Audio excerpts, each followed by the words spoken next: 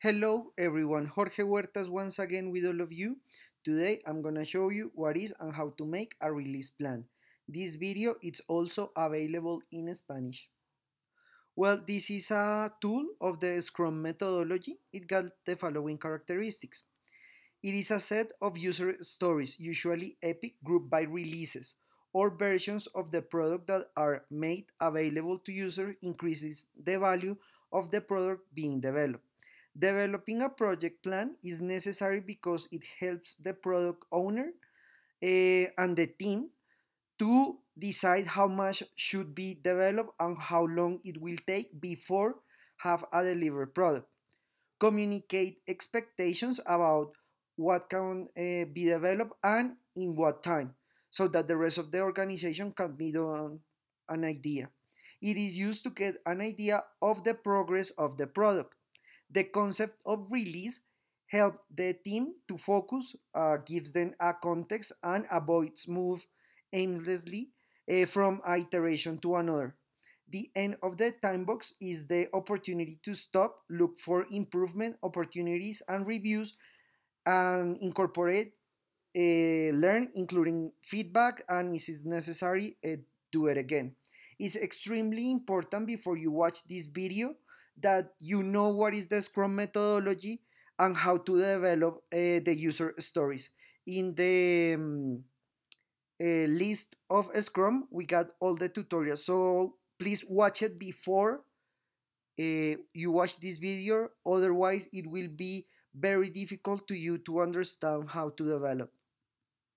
Okay, so it's extremely important to recollect and plan. That is like the main purpose and objective of this tool.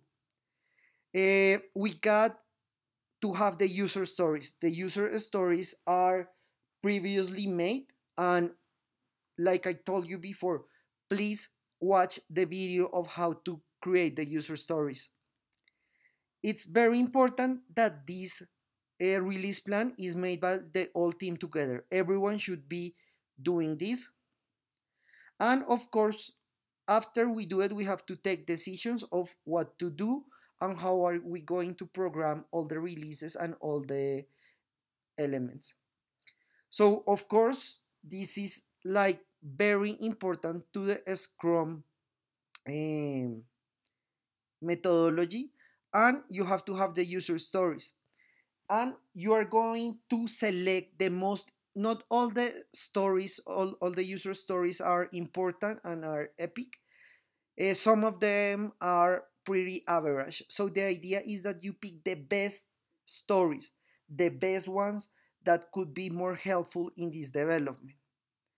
The time box is extremely important because you will um, decide how much time you will take in each iteration.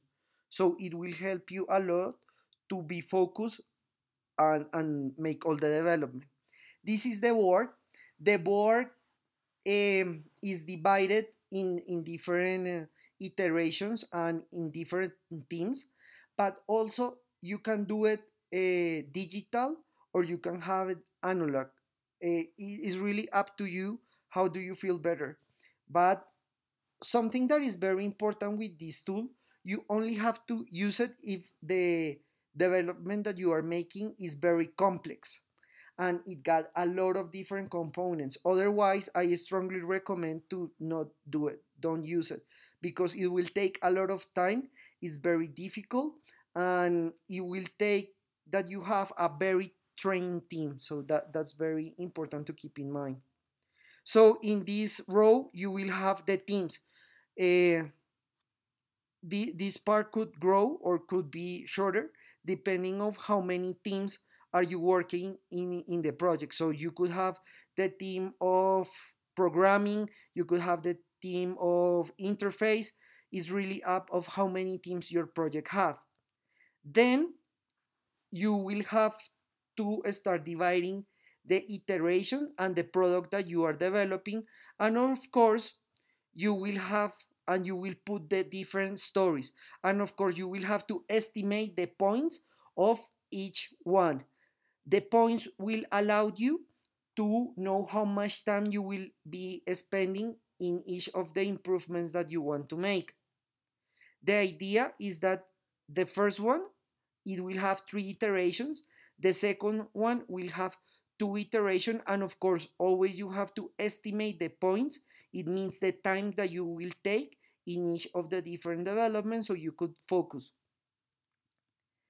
Um, the product uh, could have more iterations depending of how complex it is and how many new reviews and feedback we'll get from our users. So that is extremely important. But this is like the main axis. At the end, you will have a result. You will have like the final iteration when you will have the definition. In the definition, you will decide if you will need a new development or otherwise you will have to create and focus in something different. If you will say like, okay, we are done, uh, we don't need a new iteration, we will leave it until here. Uh, that is possible, but also it could be focused on, on something uh, different. As a conclusion, we can say that at the end of the release plan, it must be clear the process and time to launch the product. That is like the main purpose and all these user stories and all the time estimate, uh, it will have to be very clear for all the team. This tool is only used in highly complex cases with high resources. That is something very, very important. If you are going to develop something simple uh, that is not very complex, I strongly recommend that you don't use this tool. Uh, track the release plan, uh, let you know how it goes, the project, and find out the time and resources are developing and it was planned. So that is also very important to keep track if the time is going properly with the first estimation and if they are um, putting the things at, at, at the time that it should be. Thank you so much. I hope this video was a big help in your education. Please subscribe to our channel, Design Thinking 24 7. Follow us on social media. Facebook, Twitter, Instagram. Remember that every Monday we have a new video in Spanish. Every Thursday we have a new video in English. Our Udemy courses are already available. You can find the link in the description of, of this video. Uh, thank you so much and we'll see you next time.